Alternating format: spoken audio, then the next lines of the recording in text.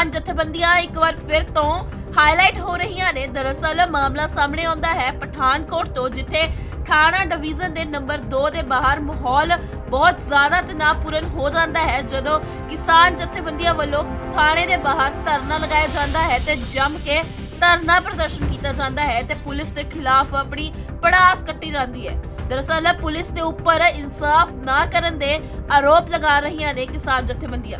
ਦਰਅਸਲ ਜਦੋਂ ਕਿਸਾਨ ਜਥੇਬੰਦੀਆਂ ਨਾਲ ਗੱਲਬਾਤ ਕੀਤੀ ਗਈ ਤਾਂ ਉਹਨਾਂ ਨੇ ਕਿਹਾ ਹੈ ਕਿ ਸ਼ਹਿਰ ਦਾ ਮੁਹੱਲਾ ਭਗਤ ਨਗਰ ਦੇ ਵਿੱਚ ਝਗੜਾ ਹੁੰਦਾ ਹੈ, ਜਿਸ ਦੇ ਚੱਲਦਿਆਂ ਪੁਲਿਸ ਵੱਲੋਂ ਦੋਵੇਂ ਧਿਰਾਂ ਤੇ 326 ਦਾ ਪਰਚਾ ਦਰਜ ਕੀਤਾ ਜਾਂਦਾ ਹੈ ਤੇ ਲੜਕੀਆਂ ਨੂੰ ਪੁਲਿਸ ਦੇ ਵੱਲੋਂ ਗ੍ਰਿਫਤਾਰ ਕਰ ਲਿਆ ਜਾਂਦਾ ਹੈ। ਤੇ ਦੂਸਰੇ ਪਾਸੇ ਧਿਰਾਂ ਇਹ ਆਰੋਪ ਲਗਾ ਰਹੀਆਂ ਨੇ ਕਿ ਦੂਸਰੇ ਆਰੋਪੀ ਜੋ ਹੈ ਆਜ਼ਾਦ ਘੁੰਮ ਰਹੇ ਨੇ ਤੇ ਪੁਲਿਸ ਵੱਲੋਂ ਉਹਨਾਂ ਨੂੰ ਗ੍ਰਿਫਤਾਰ ਨਹੀਂ ਕੀਤਾ ਗਿਆ ਹੈ।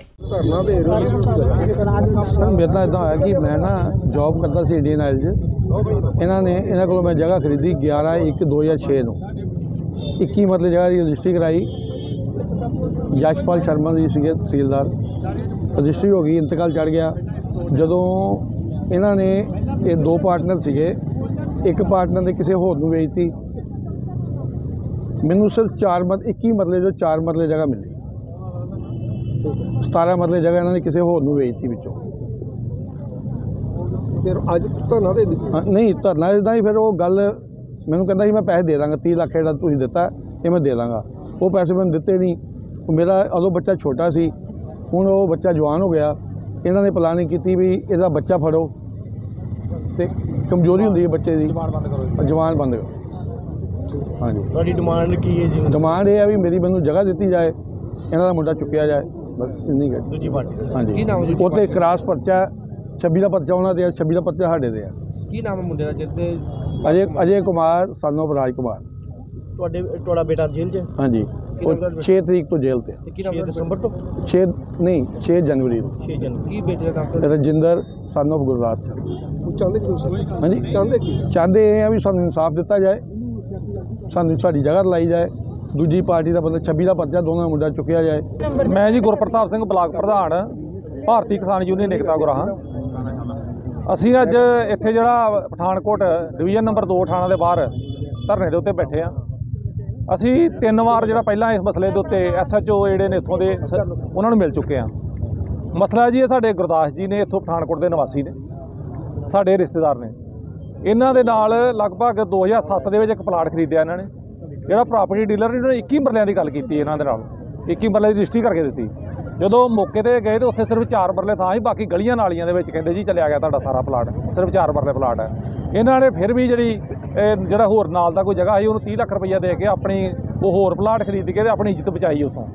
ਉਸ ਤੋਂ ਬਾਅਦ ਇਹ ਲਗਾਤਾਰ ਜਿਹੜੇ ਉਹਨਾਂ ਨਾਲ ਗੱਲ ਕਰਦੇ ਰਹੇ ਕਿ ਸਾਨੂੰ ਜਿਹੜੇ ਸਾਡੇ ਪੈਸੇ ਮੋੜ ਦਿਓ ਜਾਂ ਕੁਝ ਕਰ ਦਿਓ ਤੁਸੀਂ ਸਿਰਫ ਉਹਨੂੰ ਚਾਰ ਮਰਲੇ ਜਗ੍ਹਾ ਦਿੱਤੀ ਹੈ ਬਾਕੀ ਸਾਡਾ ਬਹੁਤ ਵੱਡਾ ਨੁਕਸਾਨ ਹੋ ਗਿਆ ਇਹਦੇ ਵਿੱਚ। ਇਹ ਚਲੋ ਗੱਲ ਚੱਲਦੀ ਰਹੀ ਚੱਲਦੀ ਰਹੀ ਇਹਨਾਂ ਕੇਸ ਵੀ ਲਾਏ ਕਈ ਕੁਝ ਹੋਇਆ ਕੋਈ ਮਸਲਾ ਹੱਲ ਨਹੀਂ ਹੋਇਆ ਨਾ ਇੱਥੇ ਕੋਈ ਸੁਣਵਾਈ ਹੋਈ। ਪਿਛਲੇ ਜਿਹੜੇ ਦਸੰਬਰ ਮਹੀਨੇ ਦੇ ਵਿੱਚ ਇਹਨਾਂ 26 ਦਸੰਬਰ ਨੂੰ ਇਹਨਾਂ ਦਾ ਲੜਕਾ ਜਿਹੜਾ ਉਹ ਜਿਮ ਜਿਮ ਮਾਰ ਕੇ ਵਾਪਸ ਘਰ ਨੂੰ ਆ ਰਿਹਾ ਸੀ। ਜਿਹੜੇ ਦੂਸਰੇ ਪ੍ਰਾਪਰਟੀ ਡੀਲਰ ਧਿਰ ਸੀ ਉਹ ਧਨਾੜ ਧਿਰ ਧਿਰ ਸੀ। ਉਹਨਾਂ ਨੇ ਇੱਕ ਪਲੈਨਿੰਗ ਕੀਤੀ ਕਿ ਇਹਨਾਂ ਦੇ ਬੱਚੇ ਨੂੰ ਰਸਤੇ ਦੇ ਵਿੱਚ ਘੇਰ ਕੇ ਤੇ ਉਹਨੂੰ ਝਗੜਾ ਕਰਨ ਦੀ ਕੋਸ਼ਿਸ਼ ਕੀਤੀ। ਤੇ ਸੋਗਾ ਉਲਟਾ ਇੱਕ ਉਹਨਾਂ ਨੇ ਇੱਕ ਇੱਟ ਮਾਰੀ ਉਹਦੀ ਉਂਗਲ ਜਿਹੜੀ ਫ੍ਰੈਕਚਰ ਹੋ ਗਈ ਇਹਨਾਂ ਦੇ ਲੜਕੇ ਦੀ ਤੇ ਜਿਹੜੀ ਆ ਉਹਦੀ ਹੋਣ ਨਾਲ ਉਹ 26 ਦਾ ਜਿਹੜਾ ਕੇਸ ਹੈ ਦਰਜ ਹੋ ਗਿਆ ਉਹ ਦੂਜਿਆਂ ਤੇ। ਉਹਨਾਂ ਦੂਸਰਿਆਂ ਨੇ ਜਿਹੜੀ ਝੂਠੀ ਦਰ 26 ਬਣਾ ਕੇ ਤੇ ਇਹਨਾਂ ਉੱਤੇ ਵੀ ਕੇਸ ਦਰਜ ਕਰਵਾਤਾ ਇਹਨਾਂ ਦਾ ਲੜਕੇ ਨੂੰ ਜਿਹੜਾ ਅਰੈਸਟ ਕਰਕੇ ਅਗਲੇ ਦਿਨ ਹੀ ਉਹ ਜੇਲ੍ਹ ਵਿੱਚ ਭੇਜਿਆ ਹੋਇਆ। ਤੇ ਜਿਹੜੀ ਝੂਠੀ ਧਿਰ ਹੈ ਉਹ ਇੱਥੇ ਆਜ਼ਾਦ ਘੁੰਮ ਰਹੀ ਹੈ।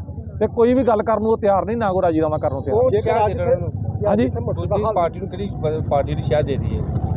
ਸ਼ਾਇਦ ਸ਼ਾਇਦ ਪਤਾ ਲੱਗਾ ਜੀ ਜਿਹੜਾ ਸਾਡੇ ਇੱਥੋਂ ਦੇ ਐਫਸੀਆਈ ਦੇ ਮੰਤਰੀ ਨੇ ਕਟਾਰੂ ਚੱਕ ਜੀ ਉਹਨਾਂ ਵੱਲੋਂ ਪਤਾ ਲੱਗਾ ਕਿ ਫੋਨ ਬਾਰ-ਬਾਰ ਇੱਥੇ ਆ ਰਹੇ ਨੇ। ਅਸੀਂ ਵੀ ਉਹਨਾਂ ਨੂੰ ਮਿਲੇ ਤੇ ਉਹਨਾਂ ਨੂੰ ਕਿਹਾ ਵੀ ਇਹ ਕੰਮ ਨਾ ਕਰੋ ਇਹ ਨਿਆਂ ਵਾਲਾ ਕੰਮ ਨਹੀਂਗਾ। ਤੇ ਉਹ ਇੱਕੋ ਗੱਲ ਕਹਿੰਦੇ ਰਾਜੀਨਾਮਾ ਕਰਾ ਦਿੰਦੇ ਆ ਰਾਜੀਨਾਮਾ ਕਰਾ ਦਿੰਦੇ ਆ ਪਰੰਤੂ ਇਹਨਾਂ ਦੇ ਮੁੰਡੇ ਨੂੰ ਡੇਢ ਮਹੀਨਾ ਹੋ ਗਿਆ ਜੇਲ੍ਹ ਵਿੱਚ ਬਿਠਾਏ ਹੋਏ ਨੇ। ਜਿਹੜਾ ਬੰਦਾ ਮੁਜ- ਮ- ਮਜਲੂਮ ਹੈ ਜਿਹੜਾ ਸ਼ਿਕਾਇਤ ਕਰਤਾ ਹੈ ਉਹਨੂੰ ਤੇ ਬਿਠਾਇਆ ਜੇਲ੍ਹ 'ਚ। ਤੇ ਜਿਹੜਾ ਮੁਜਰਮ ਹੈ ਉਹ ਆਪਾਂ ਆਜ਼ਾਦ ਘੁਮਾ ਰਹੇ ਹਾਂ ਉਹਨੂੰ ਉਹ ਬੰਦੇ ਨੂੰ। ਤੇ ਇਸ ਕਰਕੇ ਆਪਾਂ ਬੈਠੇ ਜ- ਨਹੀਂ ਹੁੰਦਾ ਤੇ ਧਰਨਾ ਤੁਸੀਂ ਹਾਂ ਇੱਥੇ ਲਗਾਤਾਰ ਬੈਠੇ ਆ ਆਪਾਂ। ਨਹੀਂ ਤੇ ਫਿਰ ਜੇ ਆਪਾਂ ਕੋ ਹਾਈਵੇ ਵੇਖਾਂਗੇ ਜਾਂ ਰੇਲਵੇ ਲਾਈਨ ਵੇਖਾਂਗੇ ਜਿੰਨਾ ਚਿਰ ਤੱਕ ਮਸਲਾ ਹੱਲ ਨਹੀਂ ਹੁੰਦਾ ਆਪਾਂ ਹੁਣ ਜਾਣ ਵਾਲੇ ਨੇ ਇਹਨਾਂ ਦੇ ਬੇਟੇ ਤੇ ਐਫ ਆਈ ਆਰ ਕੀਤੀ ਗਈ ਉਹ ਰੱਦ ਕਰਨ ਦੀ ਮੰਗ ਕਰਨ ਦੇ। ਅ, ਰੱਦ ਵੀ ਕਰ ਰਹੇ ਨਾਲ ਨਿਆਂ ਜਿਹੜਾ ਇਹਨਾਂ ਦੇ ਧੋ- ਧੋਖਾ ਹੈ 16 ਸਾਲ ਲਗਾਤਾਰ ਜਿਹੜਾ 30 ਲੱਖ ਰੁਪਈਆ ਇਹਨਾਂ ਦਾ ਅ, ਖਰਾਬ ਹੋ ਰਿਹਾ ਉਹਦਾ ਵੀ ਆਪਾਂ ਨਿਆਂ ਲੈ ਕੇ ਜਾਵਾਂਗੇ। ਐਕਚੁਅਲੀ ਨਾ ਇਹ ਇੱਕ ਮੁਕੱਦਮਾ ਦਰਜ ਹੋਇਆ 326 ਦੇ ਵਿੱਚ। ਇਹ ਜਿਹੜਾ ਮੇਨ ਦੋਸ਼ੀ ਇਹਨਾਂ ਦਾ ਜਿਹਦੇ ਵੱਲੋਂ ਇਹਨਾਂ ਧਰਨਾ ਲਾਇਆ ਉਹ ਬੰਦਾ ਅਰੈਸਟ ਕੀਤਾ ਹੋਇਆ ਸੀ। ਇਹ ਦੂਸਰੇ ਬੰਦੇ ਨੂੰ ਵੀ ਕਹਿ ਰਹੇ ਨੇ ਜੀ ਦੂਸਰਾ ਬੰਦਾ ਵੀ ਤੁਸੀਂ ਅਰੈਸਟ ਕਰੋ।